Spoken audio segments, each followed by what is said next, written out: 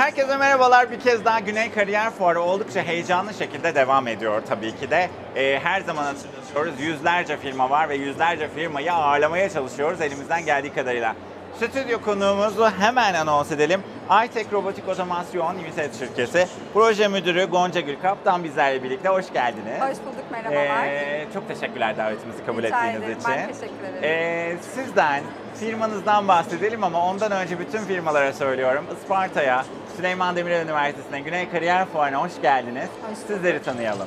Tamamdır, ben Gonca Gül Kaptan. Ee, yaklaşık 3 senedir e, iTech Robotik firmasında çalışıyorum. iTech Robotik firması e, Isparta'da 2015 yılında kurulan bir firmadır. Daha sonra ARGE merkezi olmuştur. Evet. Şu an e, enerji ve taahhüt işleriyle uğraşan bir firmadır ve şu an robotik otomasyon üzerine çalışılan bir firmadır.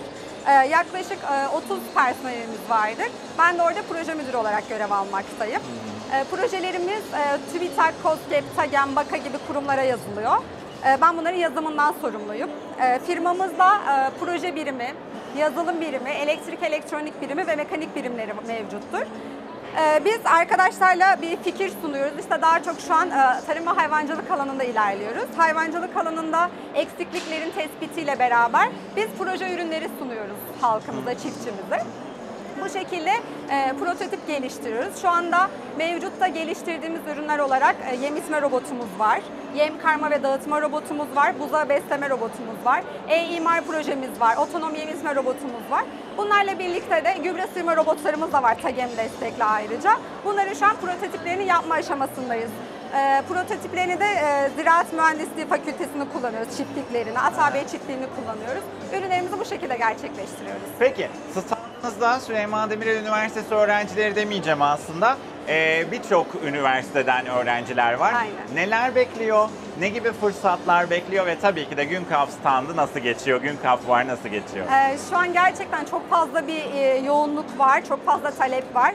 Ee, genelde öğrenciler birinci sınıftan tutun dördüncü sınıfa kadar herkesin talepleri var. Ee, bu talepler doğrusunda bizim ne yaptığımızı merak yerimizi merak ediyorlar. İleriye dönük nasıl bir hani, projeler yapacağız, işte kendi akıllarındaki projeleri de sunuyorlar bize. Biz de diyoruz ki hani neden olmasın? Şu an bir sürü e, staj başvurusu ya da iş başvurusu aldık. E, Biz de kendimizi ve projelerimizi tanıtıyoruz bu kapsamda. Mutluyuz. Hani bu kadar ilgi bekleyeceğimizi e, düşünüyorduk ama e, daha fazlası geldi açıkçası. E, sabahtan beri de oldukça fazla bir yoğunluk var e, biliyorsunuz ki. Yani şu an durumdan çok memnunuz, çok mutluyuz. Peki, ben çok teşekkür ederim. Tekrar teşekkür davetimizi ederim. kabul ettiğiniz için nacizane fuarda stüdyomuza geldiğiniz Çok için memnun oldum, teşekkürler. çok teşekkür Ee, ederim. çok sağ olun. Tekrar hatırlatalım. iTech Robotik Otomasyon bizlerle birlikte oldu. Ee, vedalaşmıyoruz çünkü başka bir kurumla, kuruluşla ve firmayla devam edeceğiz.